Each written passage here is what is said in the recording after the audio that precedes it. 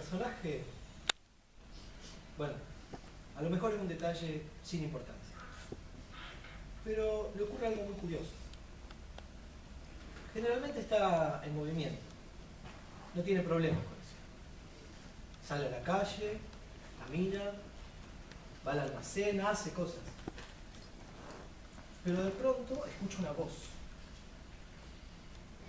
Es la voz de la mujer que ama. Es la voz de Tania que le pide auxilio. Estoy en peligro, vení que necesito tu ayuda. El personaje dice, voy.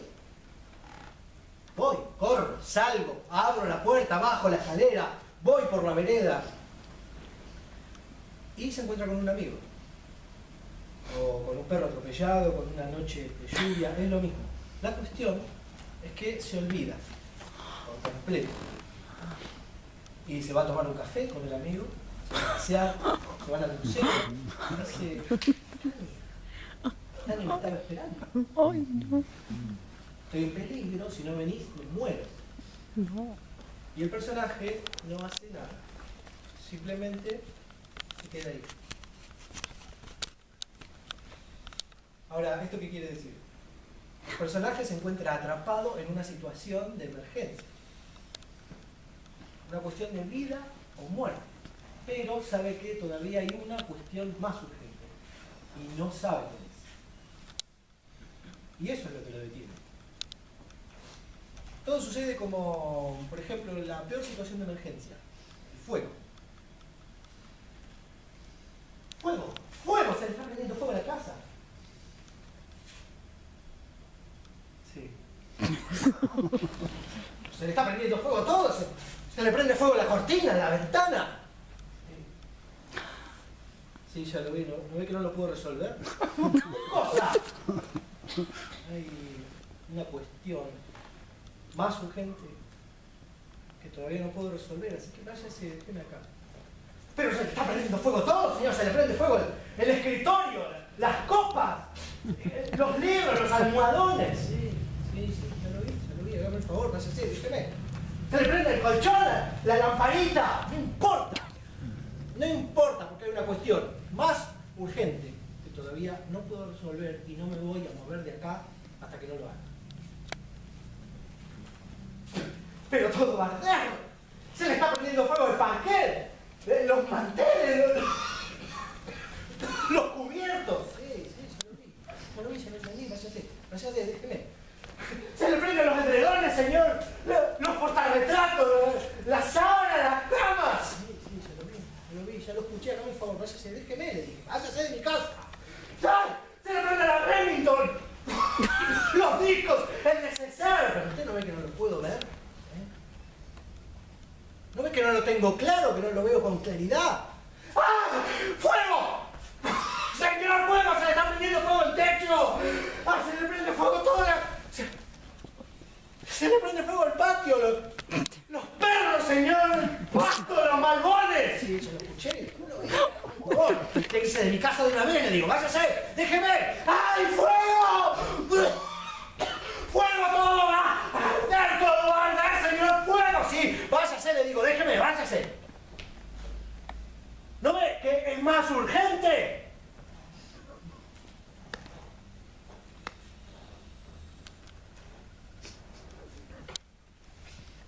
¿No ve que no lo puedo ver?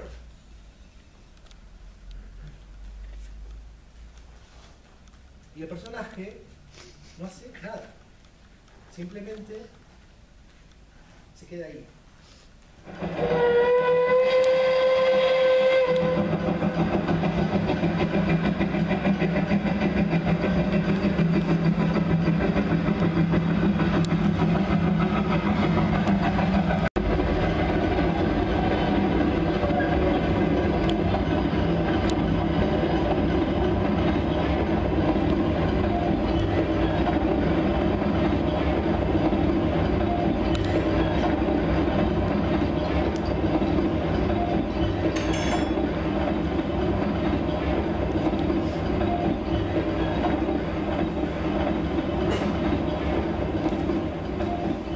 El personaje va de visita a la casa de su infancia, acompañado por Tania, que durante el viaje ha estado muy, inquieta, comentando cada uno de los cambios en el paisaje. Les hace en el camino que varios años atrás él emprendió para estudiar medicina en la universidad. Luego de recibirse y ejercer apenas unos años, repentinamente decide visitar a su familia. Ni bien llega a la pequeña estación de tren, reconoce a los mismos empleados de siempre. Nota que el camino que conduce a la casa familiar no cambió en absoluto. Todo se ve igual, pero un poco más pequeño. Ni bien cruza la arboleda, el personaje siente el olor de la comida de su madre, mezclado con el perfume de las ciruelas amarillas que se pesan en la olla de los dulces. Son las ciruelas que ha sembrado su padre, que ha cosechado su hermano y que ahora madre cocina en la olla grande de los dulces.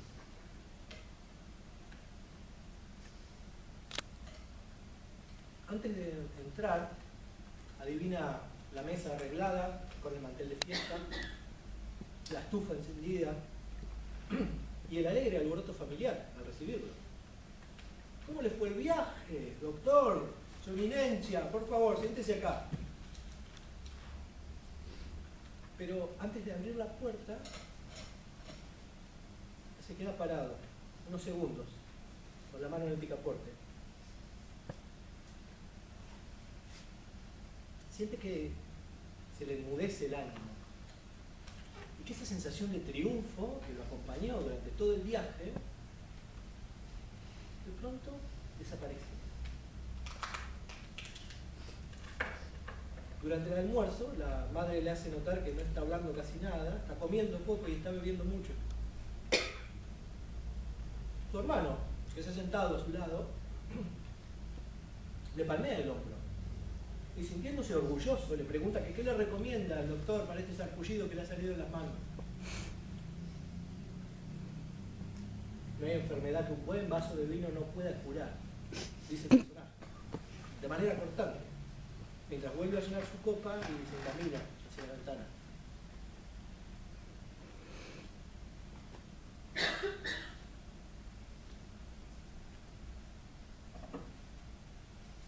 Afuera los árboles se congelan estoicamente. Adentro de la familia entrecruza miradas con Tania. Hasta que, luego de un silencio incómodo, el padre le pide que comente algo. algo sobre los últimos avances de la medicina, sobre lo que ha leído últimamente. Entonces, el personaje, sin apartar la vista de la ventana, comienza a hablar. No, realmente no aprendí nada. Lo que sé ya lo sabía. Lamento el esfuerzo que mis años de estudio les han costado, pero no hay ninguna novedad en el terreno de la medicina ni mucho menos en el de la humanidad. Afuera, un remolino de hojas secas cruza el camino en dirección a la ventana. Y a medida que avanza, el personaje siente ganas de llorar. Pero en vez de eso, suelta una carcajada que sacude a todos.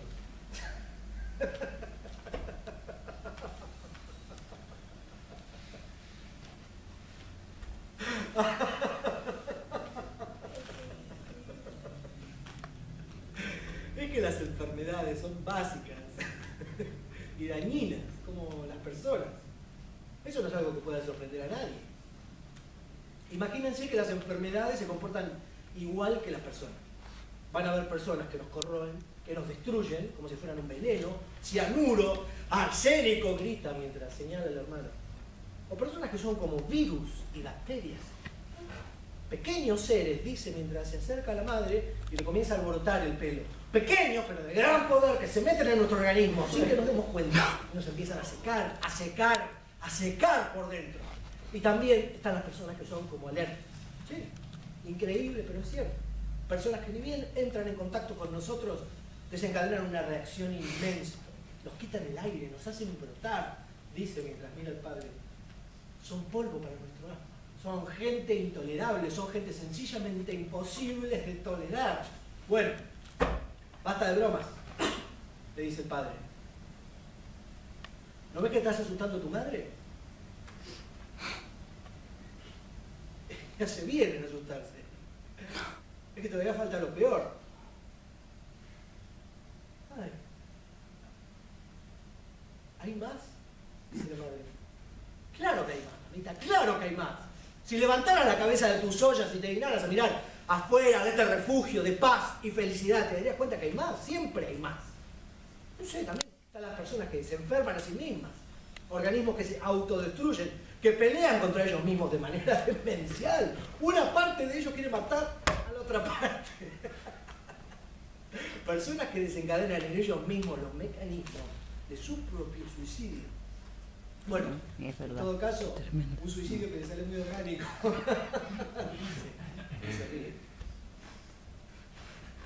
El personaje siente un tirón en la manga. Y recién ahí repara en Tania. Está parada a su lado y lo mira furiosa. Entonces, el personaje se detiene y observa la escena.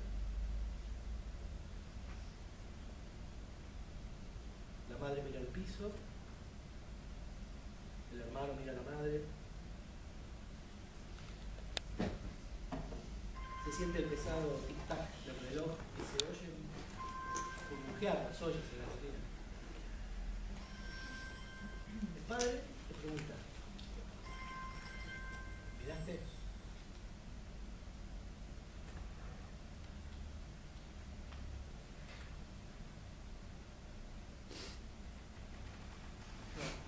No, no, no terminé. Es que siempre hay más. Estoy harto de tener que estar todo el tiempo en contacto con los vómitos, las diarreas, los coágulos, los tumores de gente que me es totalmente desconocida, teniendo que soportar una sinfonía eterna de quejidos, aullidos, lamentos que me acompañan durante todo el día. Si ustedes supieran cuánto detesto esos sonidos, cuán tedioso es para mí tener que estirpar glándulas, suturar heridas, amputar miembros. Me horroriza la idea de tener que destinar mi vida a remendar cuerpos. El padre aleja un poco la silla de la mesa, respira profundamente, se lo ve buscar las palabras como para empezar a responder, y es en ese momento en el que golpean a la puerta, con violencia. Rápidamente entra el vecino, embadurnado en lágrimas, pidiendo ayuda para su hijo, que acaba de caerse del caballo, está tendido ahí afuera sin poder moverse. Y es en ese mediodía de invierno, mientras todos corren apresurados a ponerse sus abrigos, que el doctor realiza la última intervención médica de su vida.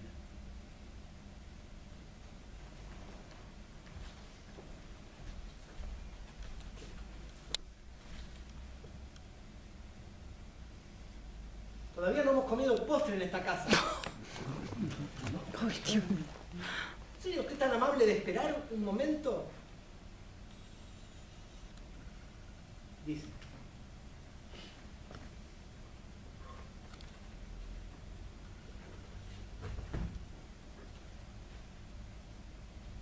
Tania está convencida de que el personaje solo ha tenido un mal día. Entonces insiste para que acepte una invitación a un baile acaba de organizar un viejo amigo del pueblo. El personaje acepta, en parte para olvidarse del episodio del almuerzo y en parte para convencer a su mujer de que todavía se interesa por costumbres sociales como esa. Tania se ha puesto hermosa para la ocasión. Y él va diciéndose por el camino, está hermosa. Y va sintiéndose cada vez más miserable, cada vez más lamentable.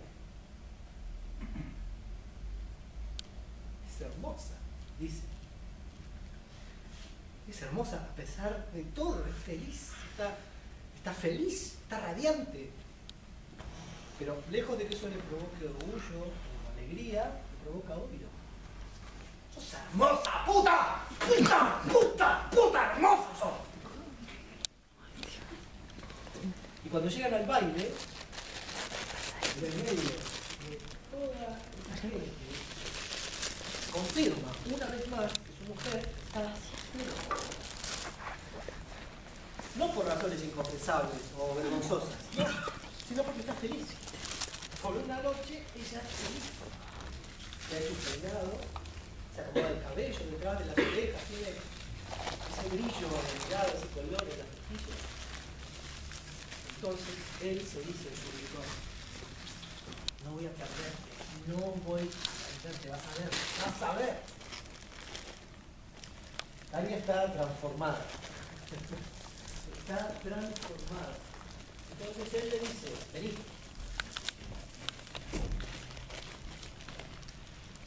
Vení. Tengo algo que decirte. Esto no puede seguir así. Estás coqueteando con mi amigo. No.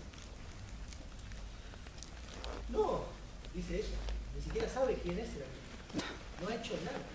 Sí, sí. Y él empieza a elevar el tono de voz. No hagas escándalo, no hagas escándalo. le dice ella. Bien, entonces vámonos inmediatamente de acá. Te lo pido por favor. Te lo pido por favor, te lo suplico. Jamás te pido nada. Quedémonos. Quedémonos una hora más y nos vamos. Entonces él sujeta bien y le dice, no, o nos vamos de acá, ahora mismo yo hago un escándalo. ¿Me entendés lo que te digo? ¿Vos me escuchás cuando te hablo?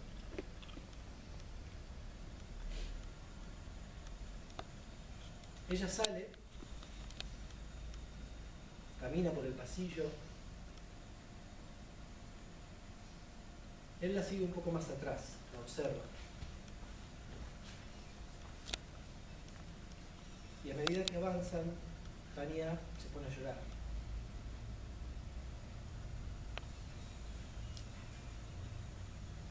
Su silueta se desploma.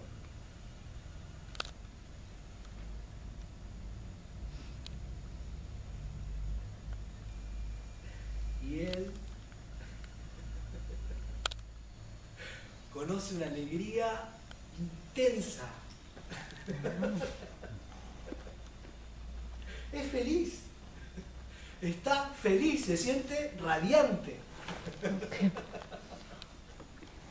Y murmura. La tengo, la tengo, la tengo.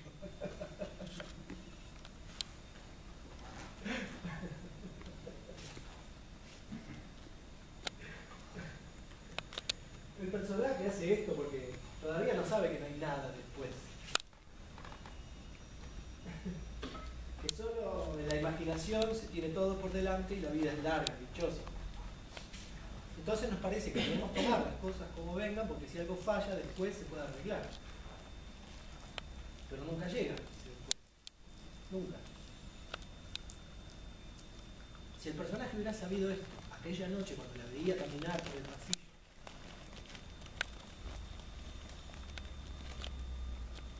él era joven, estaba feliz. Creía que la vida era una fiesta que nunca acabaría y en la que siempre tendría su lugar, tendría su después. Creía en ese después. Pero, como dice la canción, después, después, no vale ni una vez. Después, después, no vale ni una vez.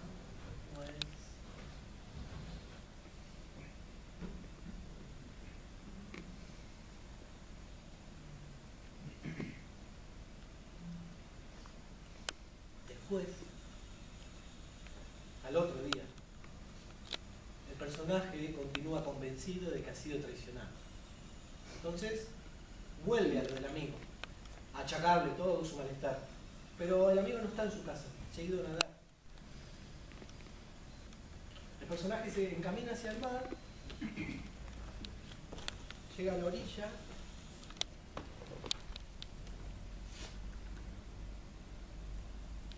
y le grita. ¡Hey! Agitando los brazos. Le vuelve a gritar. ¡Hey! Y su malestar empieza a crecer, a a medida que observa cómo su amigo avanza sin esfuerzo entre las olas, cómo se desliza en el mar como quien baila, como quien realmente sabe bailar. Y se mueve así, aclarémoslo, porque es un excelente nadador. Entonces el personaje dice, ¡ah! Y se lanza al mar. Ni bien entra, la temperatura del agua le contrae el cuerpo. Y, ¡pum! Recibe una ola en plena cara.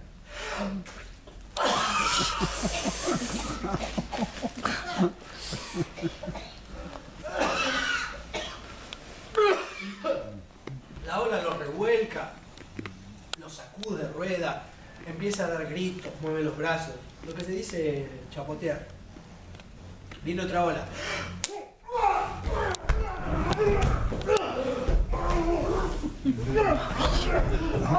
Busca el fondo, patalea. No deja de gritar.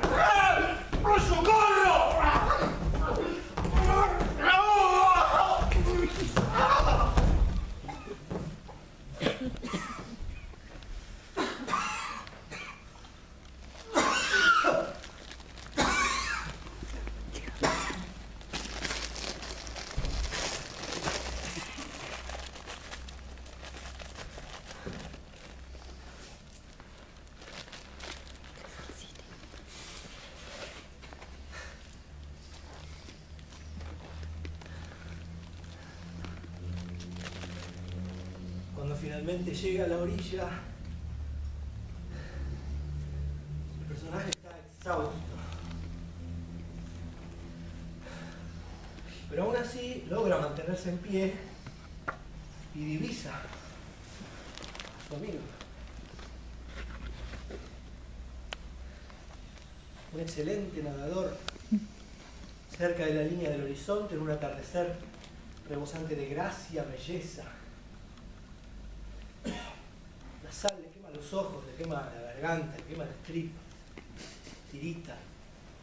Siente el cuerpo entumecido por el pánico que le dejó su encontronazo con el mar.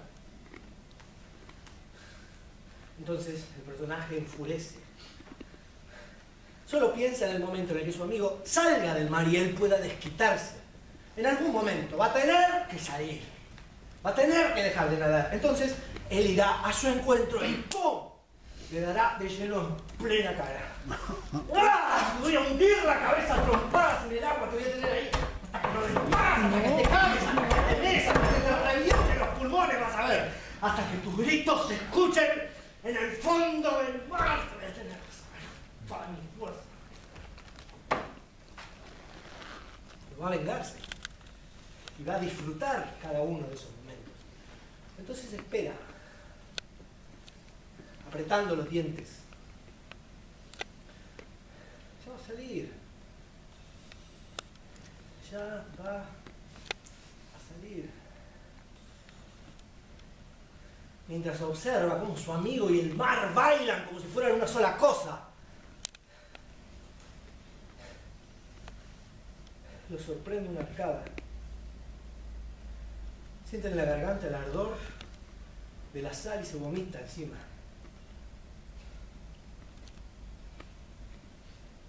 Vómito caliente le enchastra los pies, le devuelve una nube de olor agrio.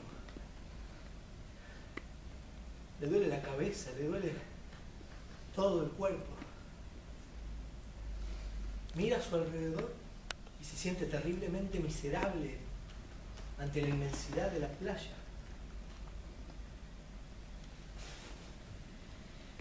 Y se hunde.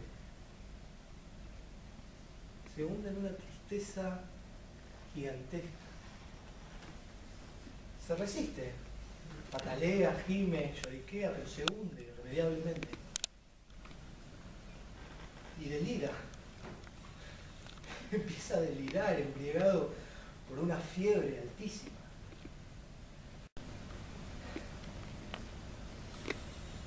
Y sin saber cómo ni cuándo,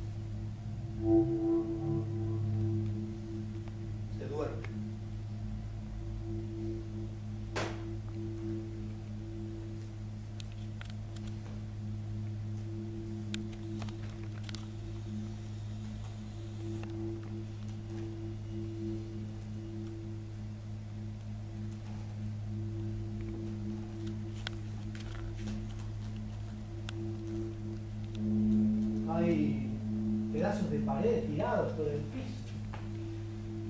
Ladrillos húmedos en donde crecieron yuyos. Todo cuanto se alcanza a ver es tierra de escombros.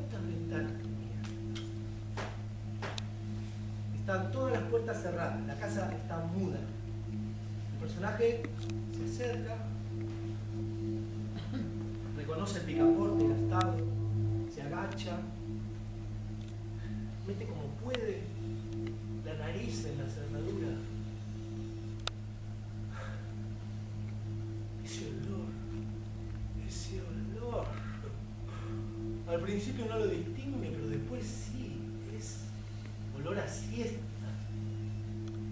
olor al aire espeso de la tarde, con su mano de dedos cortos tocando 10.000 partículas de polvo iluminadas por el sol en el tiempo espeso de la tarde. Pero alrededor la noche es cerrada y fría. Y cuando saca la nariz apoya la mano en la puerta, siente que la casa tiembla.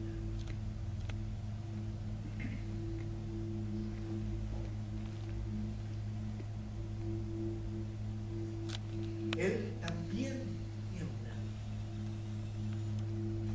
Tiene la clara sensación de haber matado. Está parado en el medio de la calle, enfrente de la casa con la certeza irremediable de haber sido expulsado para siempre de la humanidad. Solo queda vagar por este paisaje de pastos altos, espinas, pasar por todos los umbrales hasta que por fin lo trague la noche. Intenta traer una canción, cualquier canción, que le saque el miedo, la más tonta, la más funesta, una canción que cantó muchas veces, pero que ahora no está.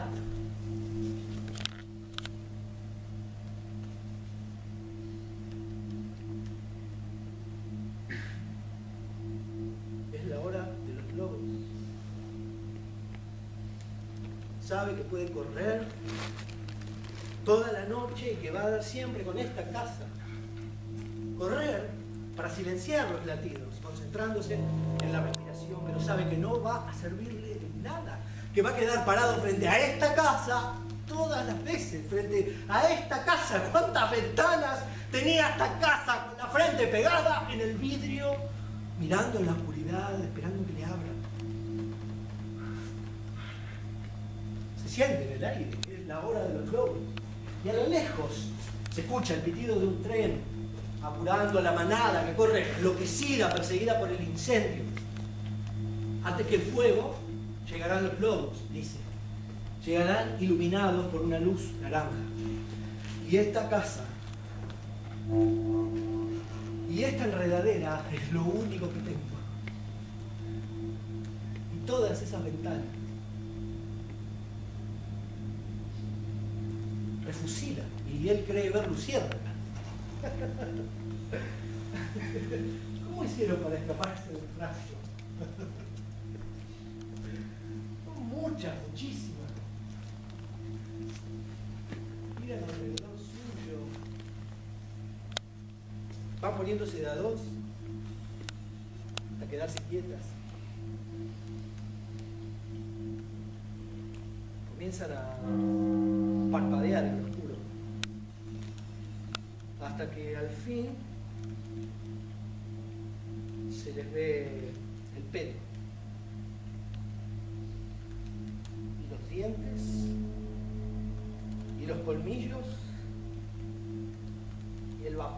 caliente saliendo de sus hocicos.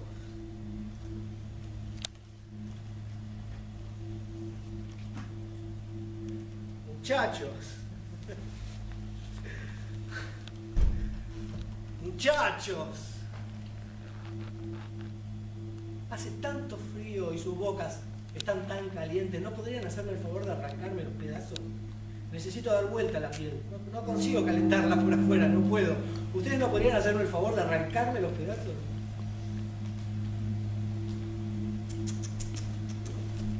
No tan rápido, le dice el lobo más grande. Le dice otra cosa, pero lo tapa, el pitido del tren. ¿Cuántos lobos? ¿15 lobos? ¿20 lobos? ¿10 lobos? ¿Cómo se llama tu amor? Le dice el lobo. ¿Mi amor? Sí, tu amor. Hubo un amor que te abrazó, te enseñó canciones. ¿Cuál es su nombre? ¿Un nombre? Su nombre, le dice el lobo.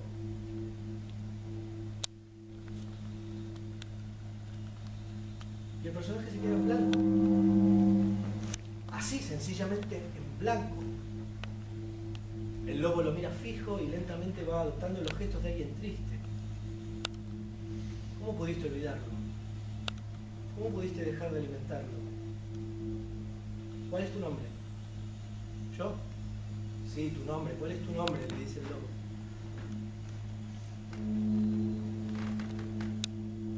Y el personaje no responde. Es que no le salen las palabras, no, no sabe cómo hacerlo sencillamente. Se aterra al darse cuenta, pero no puede. Entonces siente como la manada comienza a girar nerviosa alrededor suyo. Es que a cierta distancia están las llamas. Se presiente el calor que avanza, abriéndose paso a través de una lluvia débil. Todas esas llamas.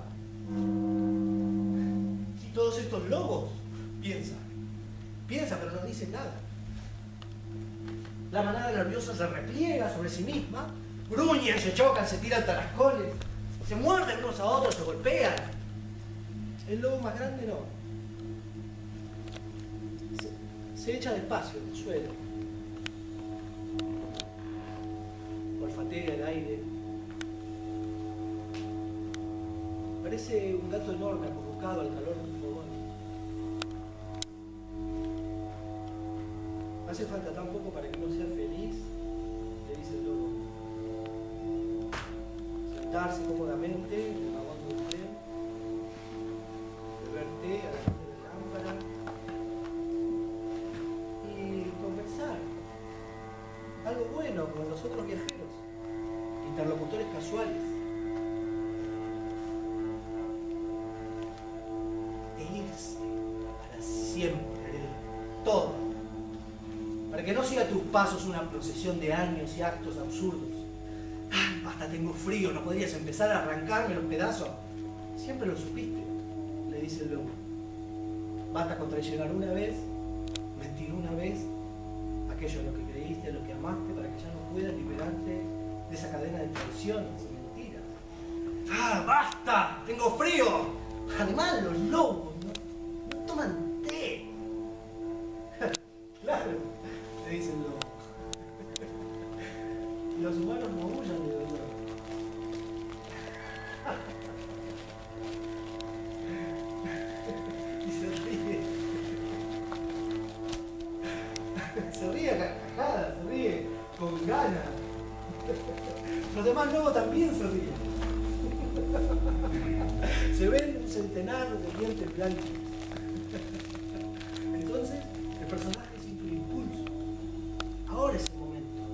Va a provocarlo. Va a hacerlos enfurecer y va a ofrecer su cuerpo a la primer mordida que lance. Es hora de aferrarme al calor de sus pelajes y olvidarme de este frío, de este cansancio de muerte. Piensa. Y lo hace. Se arroja a la manada que lo recibe a dentelladas. Se abraza con fuerza a los cuerpos de los lobos mientras lo destrozan y así, empapado en el calor de su propia sangre, oye cada vez más cerca el pitido del último tren.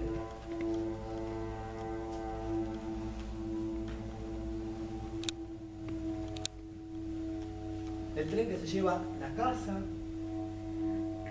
y cada una de las hojas de esa enredadera que va levantando las vías. A su paso se lleva una montaña de metal retorcido.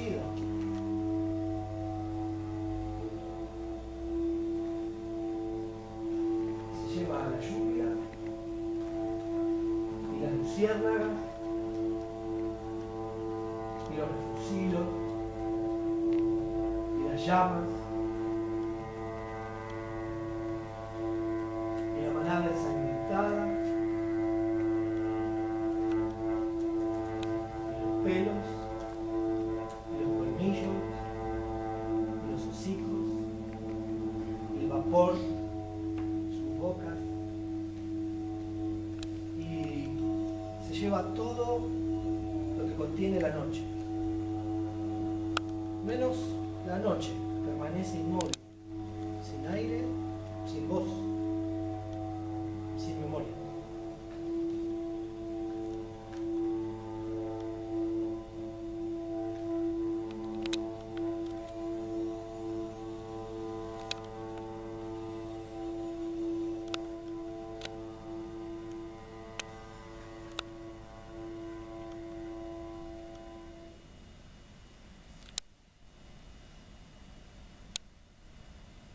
Entonces el personaje despierta y cuando abre los ojos no puede ver.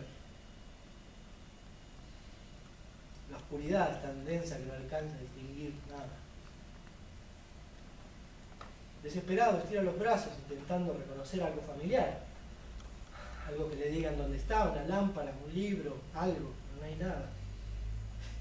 No quiero morirme, no quiero morirme, no quiero morirme, no quiero morirme. Perdón, perdón, perdón, perdón, perdón, perdón. Balbucea, desesperado, sin saber bien qué está diciendo. Tantea a su alrededor, pero solo hay arena.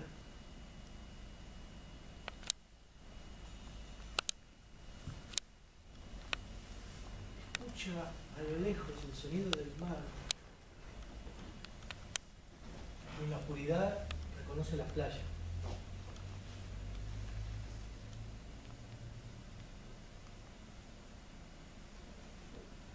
Se toca el rostro. Dice su nombre. Seis, diez, mil veces. Se abraza y lentamente se va calmando.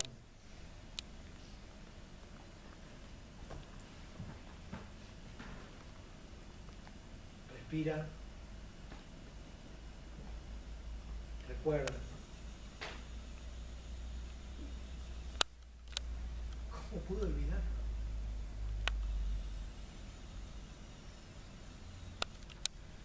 Soy un ser humano. Soy una persona. Soy una persona común y corriente.